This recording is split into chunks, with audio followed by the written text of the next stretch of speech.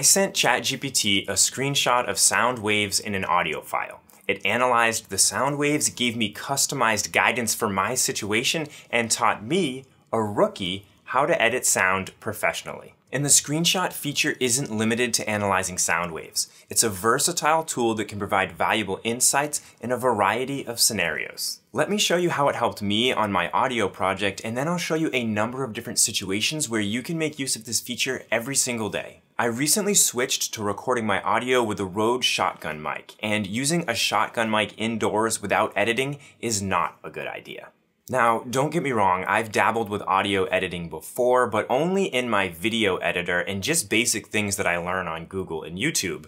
So in this situation, of course, that's the first thing that I tried, but it just wasn't working out. In fact, my audio was maybe even getting worse so I decided to take a look at ChatGPT, and oh man, I wish I had gone there sooner. After explaining my situation, it gave me a step-by-step -step checklist of audio edits that I should make particular to the application that I was using, and it even showed me the exact way to access all of these features in that particular application. I was using Adobe Audition, which is an audio editing application, but I tested this out in Audacity, which is a free audio editor, and it also worked, giving step-by-step -step instructions for that particular application.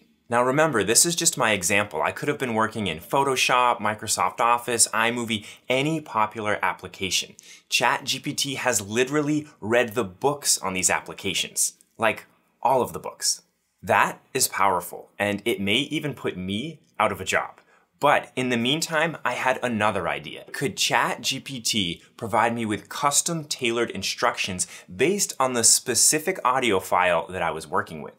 So I took a screenshot of my audio file in Audition, sent it over to ChatGPT, and then everything changed. ChatGPT analyzed the waveform of my audio in the screenshot and then provided me with specific observations about the characteristics of my audio file, and then gave me custom tailored instructions on how to edit this particular audio file. I asked a couple of follow-up questions as I edited the file, I sent a couple more screenshots, and each time ChatGPT gave me custom tailored advice, best practices, and specific steps based on my current place in the application on how to perform these edits. The final audio recorded with my shotgun mic ended up being better quality than the minimally edited headset audio that I've been using for years. Mostly because I didn't know what to do with that audio, but now, thanks to ChatGPT, I do. I'll play the before and after tracks towards the end if you want to hear. As you can see, ChatGPT is great at providing custom tailored guidance by applying its immense knowledge combined with the specific details of your situation. For example, you can turn a picture of your pantry into a gourmet meal plan. Upload it to ChatGPT and you'll receive nutritious recipes that you can make right now. You can upload screenshots of to-do lists, calendars, project plans, and even a pile of Legos to help AI with organizing, scheduling, prioritizing, and building. I mean, if this guy can code a video game out of a post-it note using ChatGPT, you can do almost anything. Even if you're getting a weird error message, you can take a screenshot, send it to ChatGPT, and it will decipher the message and provide you with step-by-step -step instructions on how to solve the problem.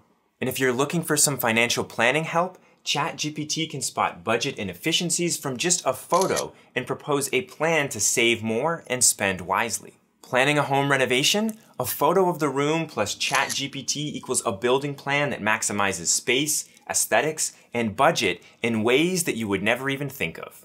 Traveling on a budget? Send a screenshot of your map location to ChatGPT, and ChatGPT can suggest hidden gems and perfect your travel route so that you can experience more working on your first coding project, or maybe your thousandth, a screenshot of your IDE and ChatGPT will find bugs, suggest optimizations, and recommend cleaner coding practices. Okay, okay, you get the idea, but get this too. AI is improving faster than ever, so all of these things that I just talked about that you can do right now are just going to get better and better.